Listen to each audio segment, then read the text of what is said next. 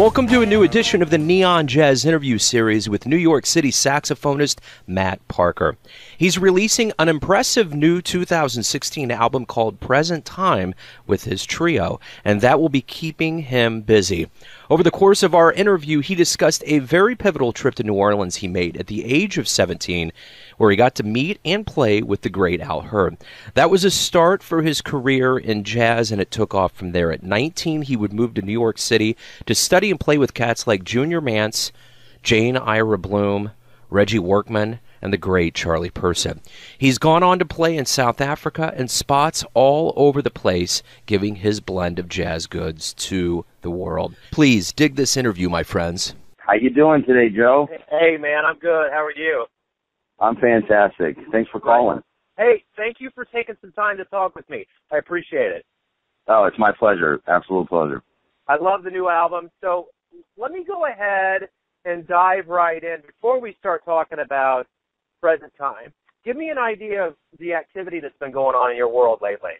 Well, it's been busy. Uh, I've been, uh, aside from releasing this second record, I uh, I just finished uh, mixing, doing the final mixes for my good friend Reggie Watkins, trombonist out of Pittsburgh, was co-producing a uh, his next record. Uh, and so we just spent the weekend working with the great Dave Darlington and, and, and getting these tracks right and, um, looking to release uh, this music of the tribute album, uh, in the sense of, uh, the great Jimmy Knepper, trombone player been doing that, you know, pretty hard. So I'm just getting out of my head out of that music right now and gearing up for the week. This week, I have my release show for my for my new album, Present Time, and then doing all my other work. I uh, I work pretty steadily here in in the city, uh, predominantly as jazz saxophonist on the New York burlesque scene, working uh, you know quite a few shows uh, a week you know, performing with burlesque performers and, and, and musicians uh, here in the city, uh, doing, you know, putting together live bands for them and having a great time doing that. I, I got to tell you, Reggie Watkins told me one of the best jazz stories I've ever heard that involved Maynard Ferguson and Frank Sinatra. Has he ever told you that? Oh yeah, I've I heard that one from the horse's mouth. uh, I, I I also had a, a great. That's how Reggie and I met, and uh, was on Maynard's band I'll never forget the night we were on the traveling somewhere across the country on the on our bus and and Maynard sitting down telling the story about taking Frank Sinatra's lady phone.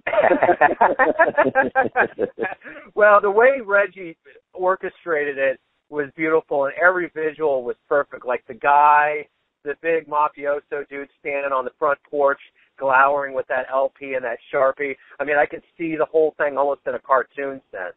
You know, absolutely, absolutely. and just the way they passed each other on that sound set, just the fact that Frank acknowledged that Maynard had some serious balls. That's a, that's a good storytelling right there. It's so. it, it really is. It really is. And Reggie tells it the best. If you're not going to hear it from Maynard, definitely hear Reggie Watkins tell the story. Absolutely. it's great. Yeah, it is. It is. So let's go ahead and talk about present time. That's a real powerhouse trio you assembled. Talk to me about the creative forces and kind of just the general flow of how this album came about. First, I mean, it, the album doesn't happen without Reggie and Alan, Reggie Quinerly on drums and Alan Hansen on bass. I'm very fortunate to to be able to call them two of my closest friends, and this music was kind of screaming for to be written. Uh, that's you know every time we get together, and I've had the privilege of working with them for over 15 years, I, something needed needed to be written right then, and the moment uh, needed to be right. It had to be now. I had to I had to sit down and write it and get this trio recorded for myself. Really, I mean, it was a, it's a documentation. You know, I'm just trying to document where I am in this process. You know, this, I'm looking at this as a very uh, it's a very long game and I want to be able to look back and and see where I was. And there's no better way to do that than to to just be in the moment. And that's kind of what we did. We went into the studio. We did quite a few shows leading up to the recording session. One of the things that I really love is is is, is being spontaneous, and so, so there were tunes on this record that they didn't see until the day of the recording session, and I hadn't played until the day of the recording session. You know, looking back at it now, it was that the smartest thing to do. I don't know. it's, it's what I did though. I wanted to create an honest representation of me at any moment. When when I'm writing, when I'm composing, when I'm performing in front of an audience, I I want I open my soul. I try to let the audience see me for everything that I am, flaws and all. And that was so easy to do. It, it's so much. Reggie and Alan make that so much easier for me to do because of my trust and our friendship and and the fact that I know that they're with me and and that was that was the idea behind present time to capture that sentiment now let's go back to your 2013 debut recording words words put together talk to me a little bit about that album and the difference between that one and this one well worlds put together is is is more of my motto really. I mean it's i look around my life and i see all the people that are in it.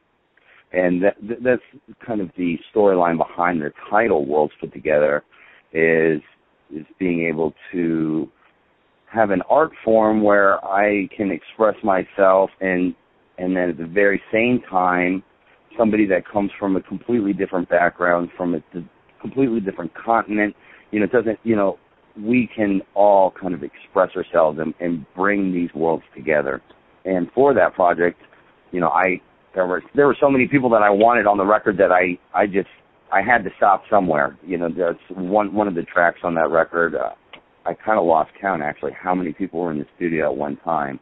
The difference between between Worlds Put Together and Present Time is probably best described. It's stripped down.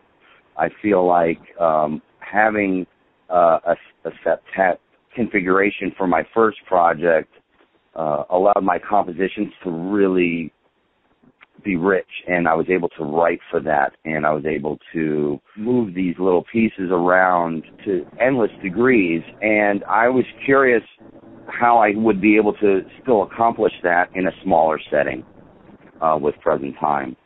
And even, you know, the, the title of the, this new record is Matt Parker Trio Present Time and it's not a trio. I mean, I have more than three people on my record, and and I think that's the continuation of Worlds Put Together. I can't help but be in, infected with the the positivity of others, and so Emily Braden on uh, is blesses this record with her uh, amazing voice, who I just adore, and uh, Jerome Jennings comes in and and lays down his talents as well on the track uh, on this trio record. so let's let's kind of take a little bit of a departure from your albums right now and get to the beginnings of your life. You grew up in Fort Lauderdale, Florida. Talk to me about your childhood and what led you to get into a love of jazz and music. Well, I uh, I did grow up Fort Lauderdale, Florida, and um, I'm the son of Kathy and Clayton Parker, and they are not musicians. My mom will be the first to tell you the only thing she plays is the radio, and she plays that really well.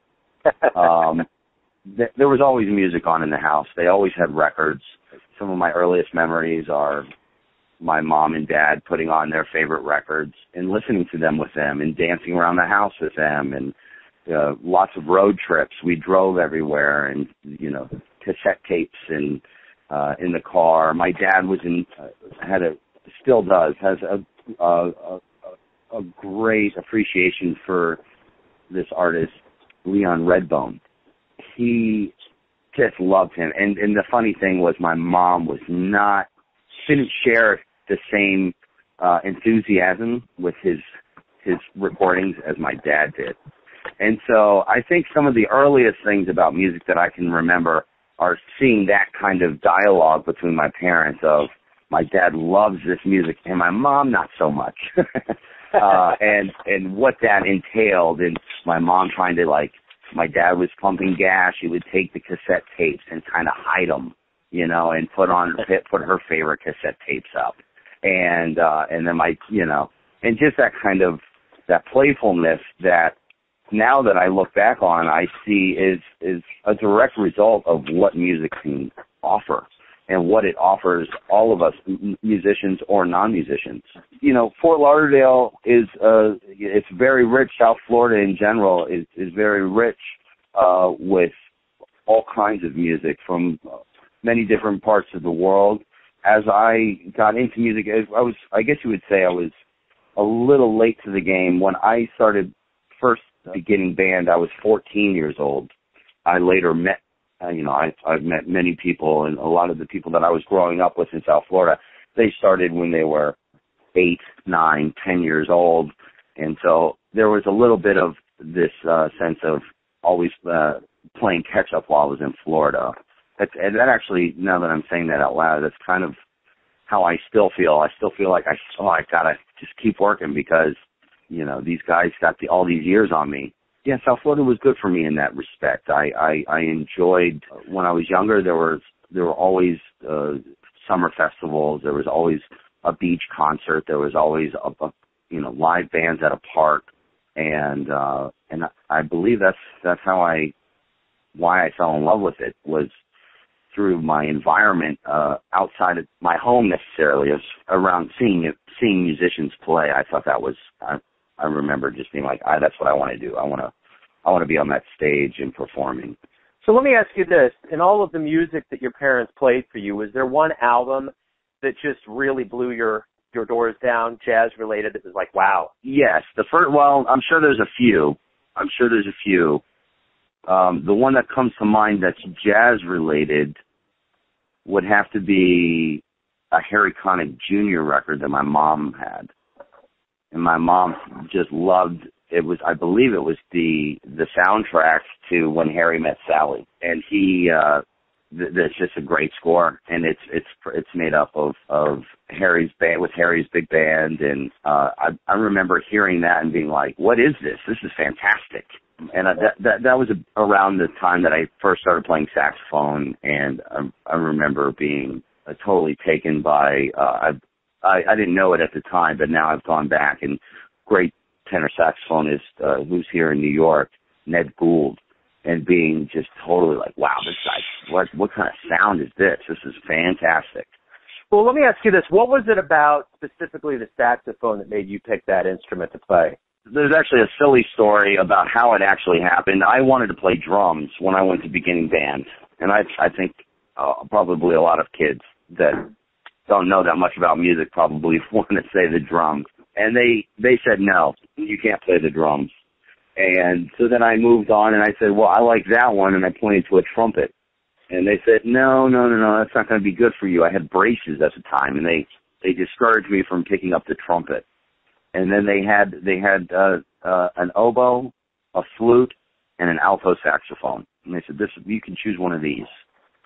And out of those three, I thought the, the, the alto looked fantastic and took it home and that was it. I'll, I'll, I still remember the smell of opening that, that first saxophone case, that begin, a Bundy and getting it home and showing my parents and trying to figure out how to put it together and it was, it was more comical than anything, but it was, I'll never forget it. And I kind of, I never let go of the saxophone after that point.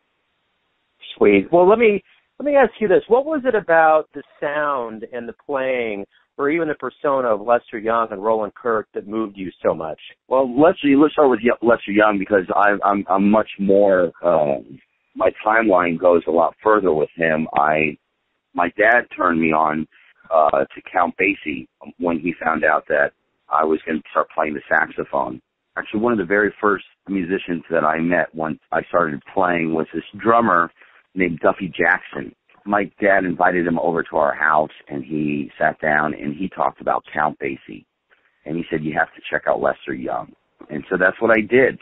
And I, I fell in love with, I've always wanted, my, I've always wanted to be a vocalist. I, I, I can't really carry a tune, uh, when it comes to singing. I, as soon as I, I heard Lester Young and Billie Holiday sing together, I was just, you know, that was it for me. That was I I wanted to sound like Lester. I wanted to I wanted to get to play with vocalists the way he did, and that's kind of carried on throughout throughout my uh, development, obviously you start being, you know, I started learning about people that were also influenced by him, and like uh, and and so that they then became big blocks in my development as well. Like uh, just to name one or two, it would be probably Dexter Gordon was a huge one when I was first starting. I had I went and got every single record I could find of Dexter Gordon.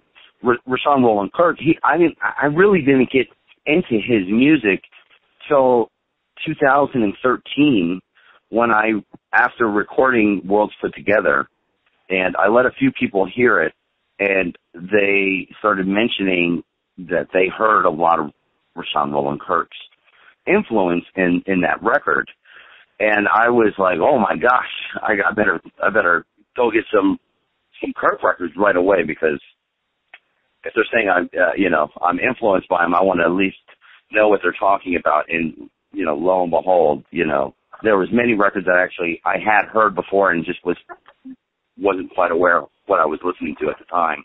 But I've grown to really just love his playing and his approach and what he brings to the music. His sense of community is is really astounding to me. The way he is able to bring in doesn't matter who's playing with him. It's all of a sudden everyone's sounding, you know, they're they're all on the same road, that sonic road that that he kind of is like the head of the train. You know, he's kind of saying which way we're going to go, which you know, what track we're going to go down. And I, I really dig that about his playing. He's very melodic and he he stretches sound for me. I think it's more than being able to play two instruments at the same time, if that makes any sense. I mean, yeah, no. I know a lot of people think that's the first thing you think of, and maybe that was the first thing I thought of when I when I, before really delving into his music. You know, I'd encourage anybody to just go get ten thousand, return it ten thousand or five thousand pound man. It's, uh, it's a great, it's a great record great organist, uh, Trudy Pitts of Philadelphia, is on that. Uh, yeah, they're they're both really uh, great influences. It's just tremendous artists, and it's it's hard not to love them. Absolutely, I agree. I agree. So let's go into your lineage of your life. At 17, you go to New Orleans. You meet and play with Al Hirt. Then you get to meet Pete Fountain, and, and, and you get all of this advice and this experience. What was that like going down there at that age and getting that? I mean, that was pretty intense. It was life changing. You know, I was only down there for just, uh, you know, we're saying, I'm saying three months. It was, it was probably 11 weeks that I was there. And it, I think about it every day. You know, I've been living in New York City for over 15 years now, you know, and I, I'm still, I still, not a day goes by that I don't think about those three months. Being young, moving, you know, having the permission of you know my family to to to leave their nest to experience this town that is famous for all kinds of things you know. Um it was the first time i really became aware of my own independence had to be confident with my own independence and had to be had to be aware of everything uh, around me and my environment and and all these things. And that that's even before getting into any of the knowledge that the city has to offer. That's just being, you know, a teenager, just not having any parental supervision. um, and then, you know, the, I, I had the privilege of, of working with these three local musicians and it was a trio, it was an organ trio and, uh, I was the fourth member. And the youngest guy in the band, I believe, was 47 years old. And then the organ player was in his mid 70s, and uh, Bob Crane, the clarinetist, was 69. And these guys just took me under their wing. I, I, you know, I went, I went to New Orleans. I, I didn't know how to read music. I didn't understand uh, theory or harmony, and these guys were, you know, teaching me to use my ears and teaching me how to react and to communicate with an audience every day, you know, six days a week, 10 hours a day. And then when we were done, it wasn't, it wasn't the cool 10 hours of the day. We started at 11 o'clock in the morning and we would play through the, the whole day outside at the gazebo on, on Decatur Street. That when our, when our day was over, either Bob or, or, or Joe West, the organ player, would take, would take me with them and they would, and that's how they introduced. They took me over to Al Hirt and introduced me to him one night, and uh, he invited me up on stage. I wish I could remember what we played. Uh, I think I was more petrified than anything uh, yeah. when I was in that moment. But um, I went. I would keep going back and and seeing him, and I kind of wish I would have asked more questions. Now, you know, you know, now that he's not with us, you know, it'd been great to kind of pick pick all of their brains more. But I think that's okay too. I was young and it, it's all forgivable when you're young, that's for sure. so at 19, you make your trek to New York City in '99, and you get to play alongside uh, Junior Mance and Reggie Workman and Charlie Persip. That had to be another level of mind blowing growth for you. Indeed. I mean, the whole reason why I was able to come to New York was because of Reggie Workman and Jane Ira Bloom and uh, and an audition that I did uh, for them at the new school, and, basically being given an opportunity to they saw something in me that they thought uh, was worth investing in, and and and they brought me uh, they brought me to New York. I remember just trying to learn everything I could about them, and then you know you you you know now it's different. Now you have the internet that you you can type Reggie Workman's in and just in one shot just be blown away by his credentials. It does make me sound much older than I feel like I am. but I guess in 99, I mean, it wasn't quite as accessible, you know? Mm. YouTube was not, the, you know, this thing where you could just check out everything, you know? I remember going, you know, going to the library, going to the Lincoln Center Library and, and just trying to check out music.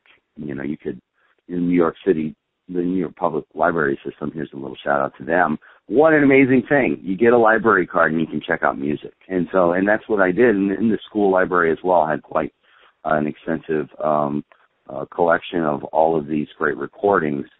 My first year there, I was able to. Um, they gave me this little award, which was called the Zoot Sims Award, and and that was the first opportunity I actually had to play outside of a school great musician. Never forget playing with Junior Mance and just absolutely falling in love with the way he played the piano. And the spirit that he would bring to the piano, that became for many years. I mean, he was he was my.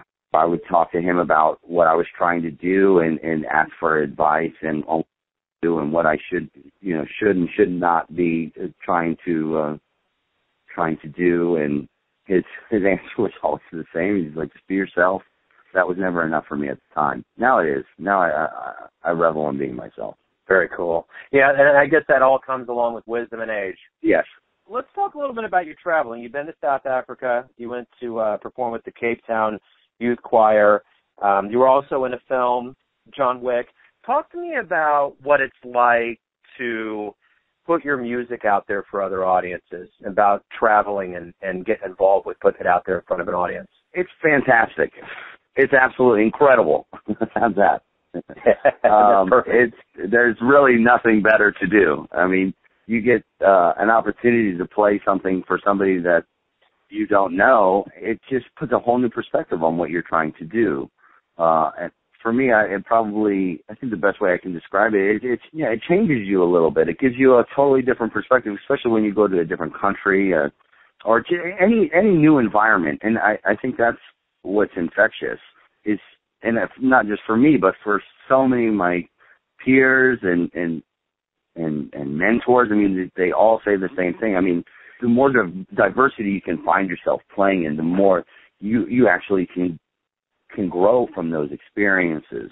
It's easy, you know, you, we're not talking about the travel and the layovers or the miscommunications of hotel rooms. you know that that that side of things yeah, you know, th- there's a lot of really big ups and downs with that, but once you're on stage and once or once you're in front of an, a new audience, there's no greater feeling. There's this, it's a moment of, are they going to like it? Uh, are they going to hate it? Will they understand me? Are they going to stay? Uh, you know, all these different thoughts that, that go through my mind. I only can really, it, it, it really puts you on your toes. It, it, I'm the best right before I go on stage. I'm well, I'm very aware. let me ask you this question: not the message that you're trying to put out through your music, but you know, I always hear that, and it's always very interesting from coming from my perspective of not being a musician, but having admiration for musicians and the music that's produced, that there's a mm-hmm. conversation that happens. And I always hear that more specifically with jazz than any other idiom, that there's this conversation that happens. So my question is this, what kind of conversation are you having with us as listeners? That's a good question. I like that. The kind of conversation that I'd like to think that I think that I'm I'm trying to portray is is a conversation of I've got you. I got your back. You guys can trust me and we're going to go on a ride. There's something really special about comedians, perfect example. I love comedians. I love stand-up comedians. Now, I think that, that those are the bravest. That's the bravest art form there is. I mean, you're all by yourself on a stage, and you're trying to communicate something to an audience. And I think in order for that to work, is trust. And in order to gain the trust, you have to you have to you know show that you are going to be there for the people. There's love is something that I think about. Laughter is something that I think about and I, and I hope those those two things come across the most while I'm playing, especially my own music. Um, but just in general, something that I like to think that I bring as an artist to any group that I'm in is this sense of uh, I'm just trying to be in that moment and invite you to be in it with me, and it's going to be okay. Right I won't drop you. I won't let you go.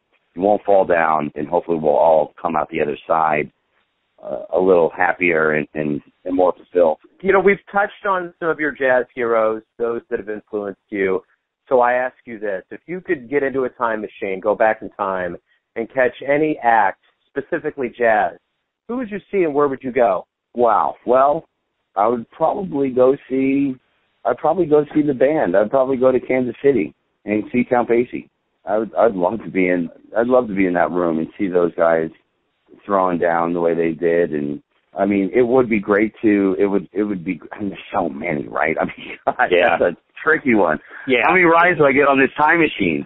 Um, so you might have a, a, a new uh, a new television program here. You know, it's a, yeah. time machine. Each episode, you could take a different musician and go to a different time. Yeah, I think Count Basie. That, that there's just there's so many great cats. So many of my my heroes are in that band. You know, and. uh and they were swinging and people were dancing and loving it and sweating and and you know they were in it for the music you know the audience was you know and the the band was up there doing it for so yeah that that would be a, pretty exciting thing to get to see live you know and one of the beauties of being in kansas city is i'll get down on 18 and vine it's a vastly different landscape but you really feel what was going on during that quadrant during the days where we were dubbed Paris and the Plains. I mean, it was every place was a juke joint going crazy, you know. Um mm. so yeah, I, I, I, I get bespeckled. That's why that question came about. There's there's so many avenues that you can go down with that. So let me ask you this on a personal level, what's the greatest thing for you about waking up every day?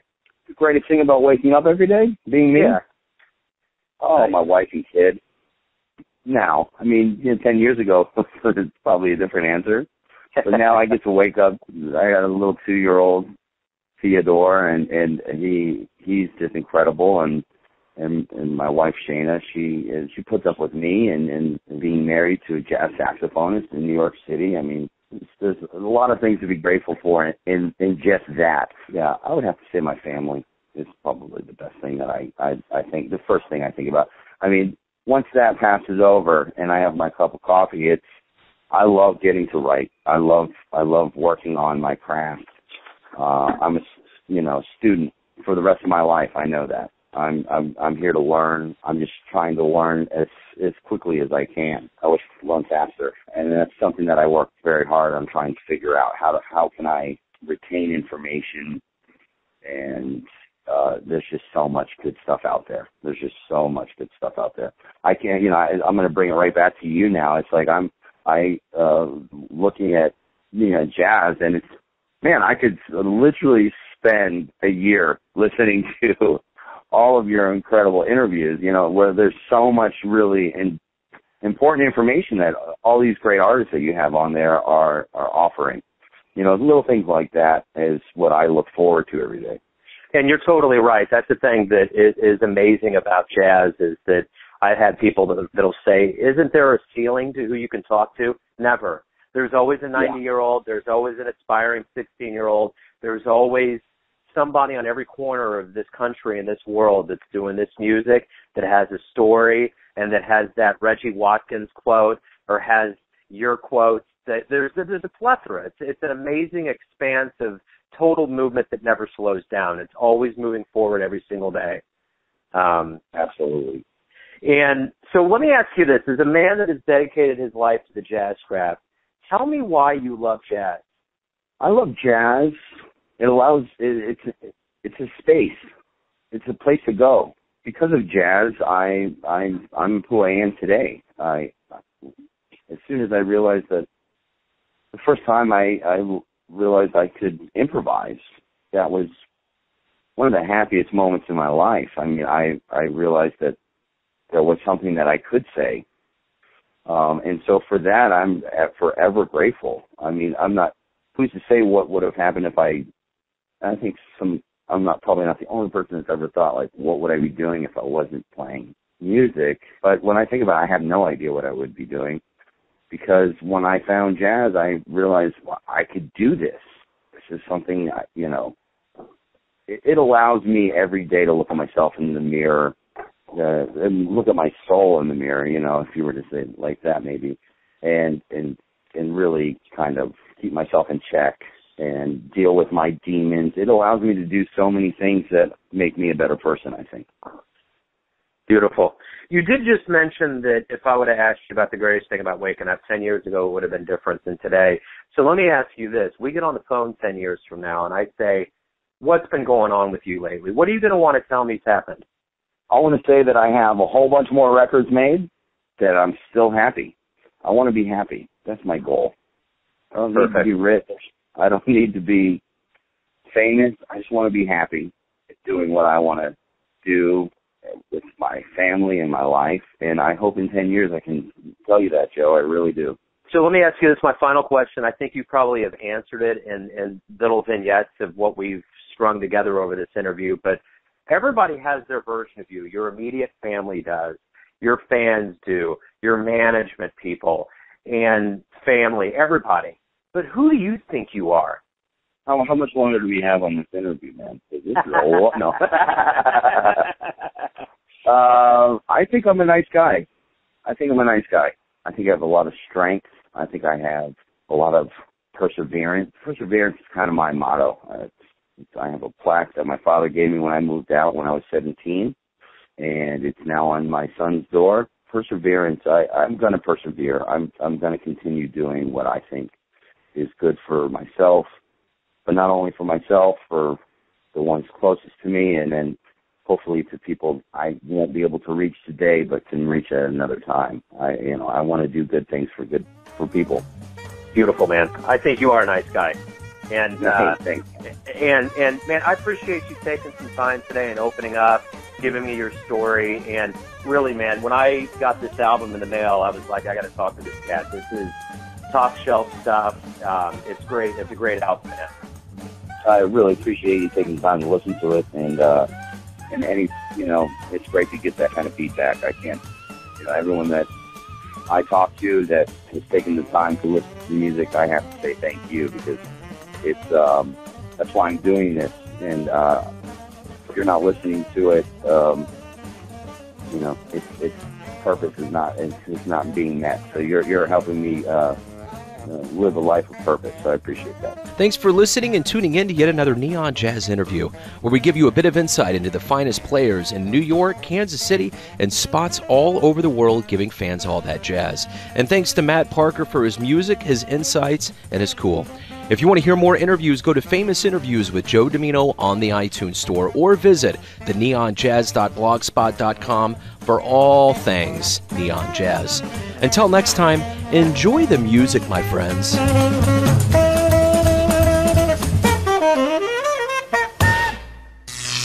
Neon Jazz.